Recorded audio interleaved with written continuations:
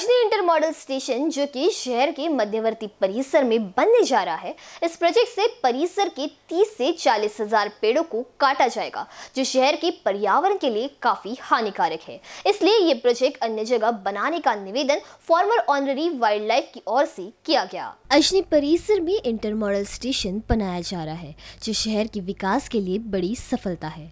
लेकिन इस प्रोजेक्ट के लिए तीस से चालीस हज़ार झाड़ काटे जाएँगे, जिससे शहर के पर्यावरण को नुकसान होगा। इसी बात को लेकर फॉर्मर ऑनररी वाइल्ड लाइफ की ओर से इस प्रोजेक्ट को अन्य दूसरी जगह बनाने का निवेदन दिया गया है। Byte, Jaydeep Das intermodal station का प्रोजेक्ट साढ़े चार सौ एकड़ की ज़मीन पर बनने जा रहा है, जिसके लिए बड़ी मात्रा में बड़े और पुराने पेड़ों की कटाई की जाएगी, जो कि बहुत ही हानिकारक होगा आने वाले दिनों के लिए।